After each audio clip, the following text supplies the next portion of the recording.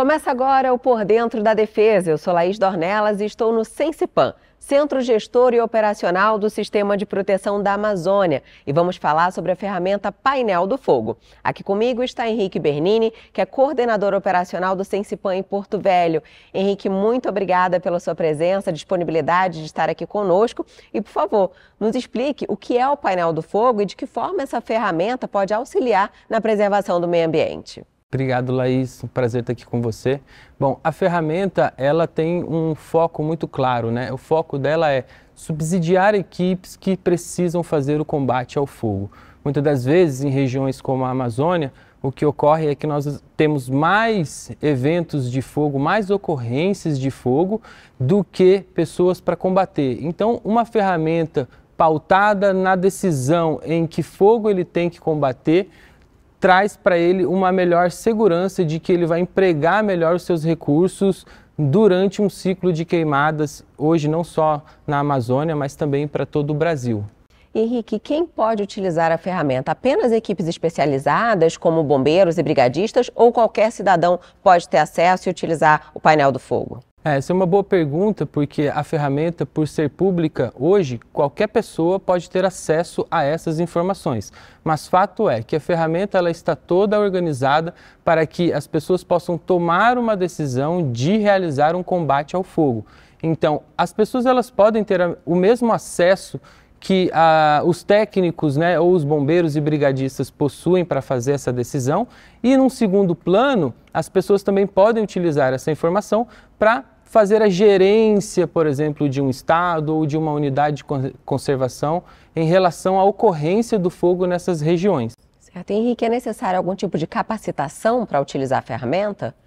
A capacitação que nós trazemos, ela é bem específica para esse ponto de tomada de decisão ensinar os combatentes ou os, os bombeiros ou brigadistas que acionam essas equipes para que elas vão para o campo fazer esse combate, mas de fato também a, a ferramenta ela é bastante intuitiva e pessoas que têm familiaridade, por exemplo, com dados geoespaciais ou que trabalham com geoprocessamento, essas pessoas também terão facilidade ao utilizar a ferramenta para um propósito de gerenciamento ou até mesmo de combate em regiões específicas. Henrique, a gente sabe que muitas das vezes incêndios florestais tomam conta de uma grande extensão né, de floresta e numa determinada região, às vezes até simultaneamente. E de que forma essa ferramenta pode facilitar, auxiliar e até tornar mais eficiente o trabalho de combate a incêndios dessas equipes? Para que de fato seja eficiente esse momento, sobretudo em regiões onde você tem mais de um ponto de ignição, que é aquele local onde se inicia o fogo, nós uh, trazemos uma novidade nessa ferramenta que é o evento de fogo. Hoje, a maioria das plataformas que trabalham com a informação sobre o fogo no Brasil, ela utiliza o dado de focos de calor.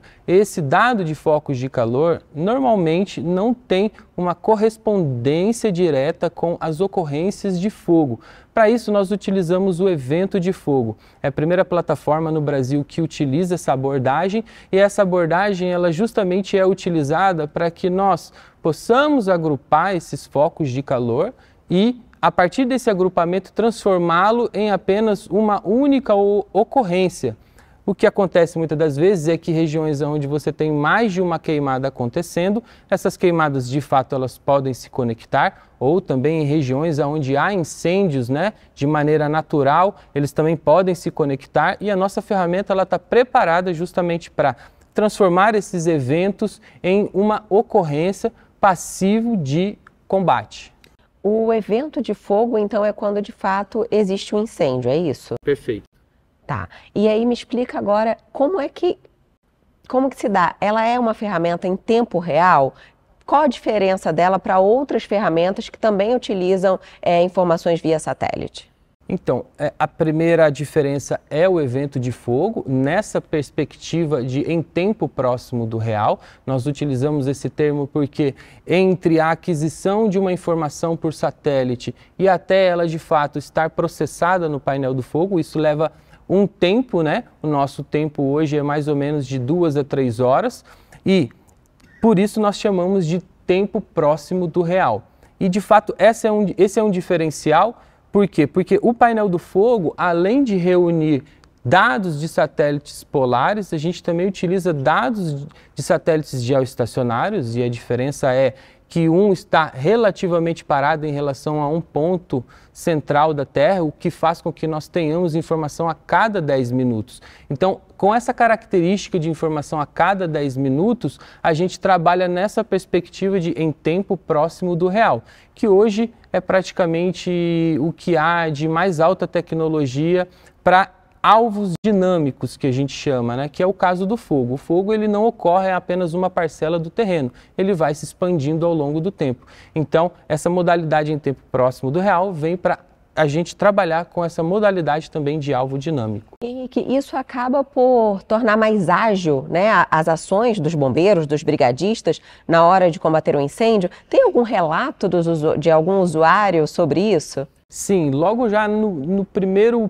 ano de uso da ferramenta com o Corpo de Bombeiro do Estado de Rondônia, nós já enxergamos a potencialidade no fato em que o bombeiro antes ele observava uma ocorrência, né, numa área bastante remota, ele fazia um deslocamento até 3, 4 horas até chegar nesse local, para que de fato ele soubesse que ali existia uma ocorrência e que não era um falso alarme, um falso positivo.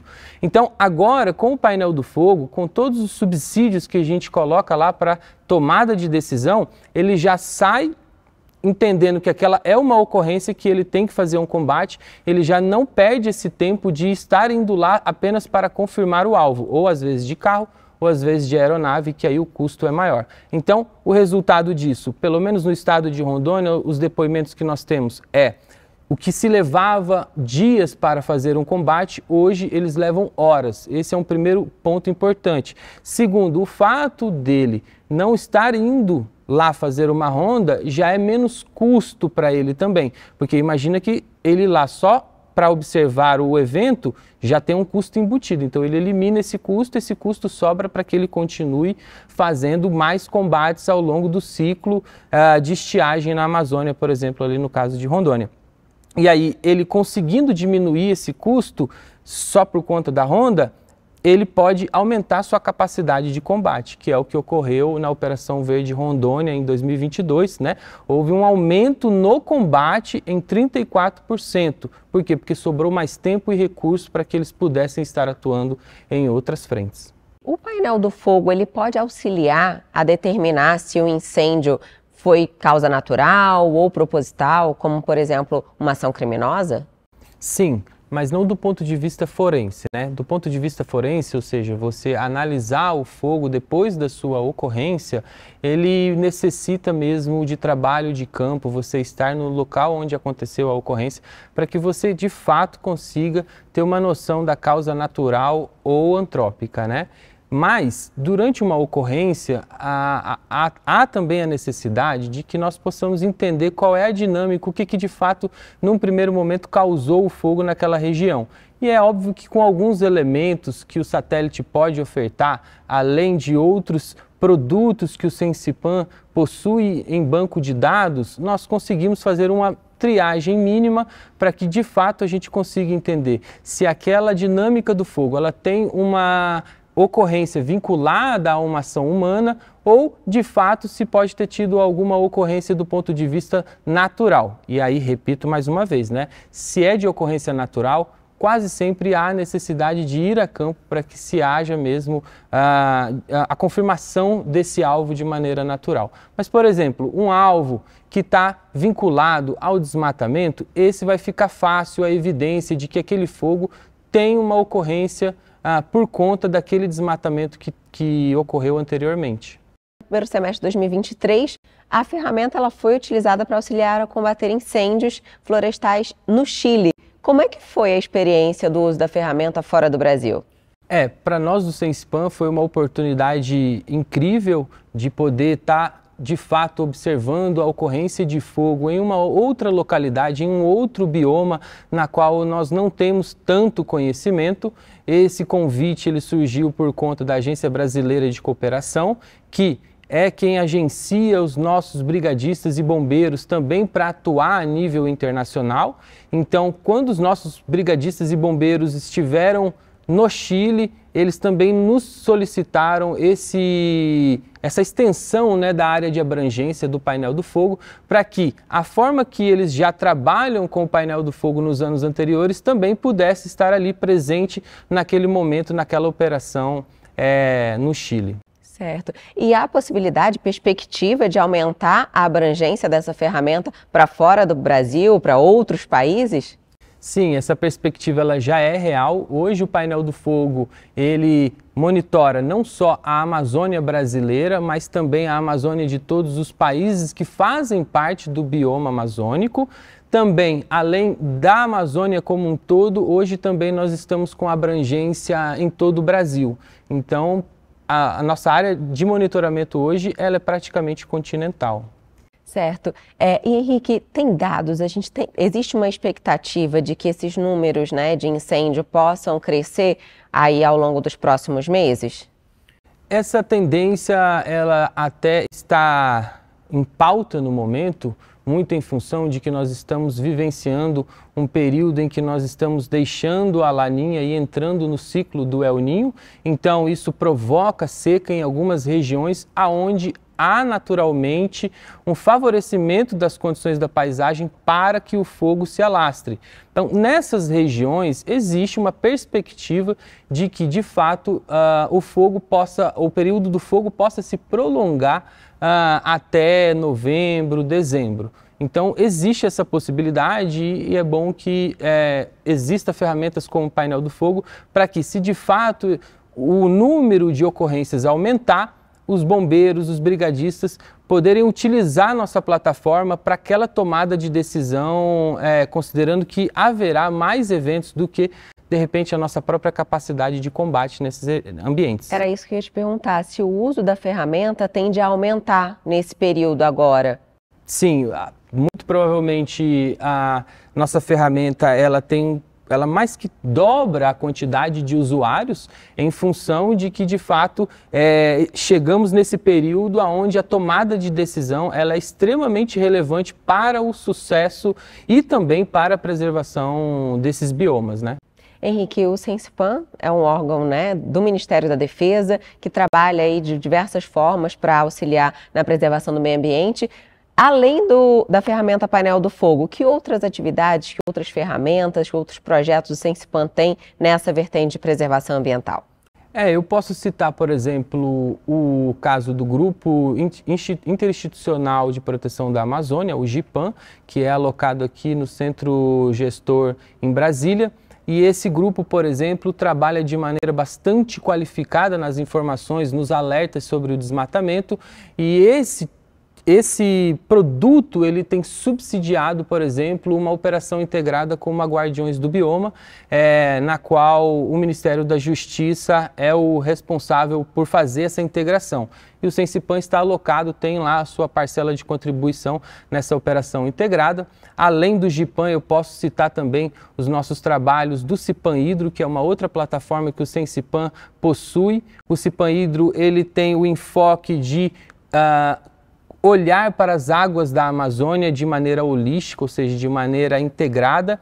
E o, eu cito também como principal produto lá do Cipan Hidro o nosso sistema de alertas inunda, de inundações e enchentes em áreas urbanas da Amazônia.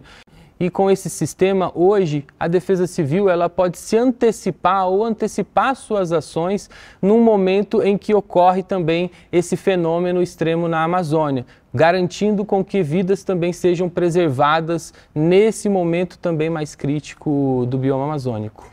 Bem, Henrique, o Sensipan é um órgão do Ministério da Defesa que desenvolveu a ferramenta Painel do Fogo e ele trabalha também em operações interagências, né, com diversos outros órgãos. Como que isso acontece? Então, isso acontece de maneira muito natural aqui no Sensipan, pela sinergia da própria instituição com outros entes públicos. Ah, eu posso citar para você um, um belo exemplo de operação integrada, que é a Operação Guardiões do Bioma, quem faz o gerenciamento é a Secretaria Nacional de Segurança Pública e o ambiente do Guardiões do Bioma propicia aquele ambiente em que eu possa conversar com várias instituições ao mesmo tempo. E isso muitas das vezes customiza, facilita né, o tempo para a gente, uma vez que nós temos uma quantidade é, expressiva de pessoas e de instituições que estão envolvidas diretamente no combate. Então, para a gente é de maneira natural que todos nos procurem para que nós façamos né, o uso da ferramenta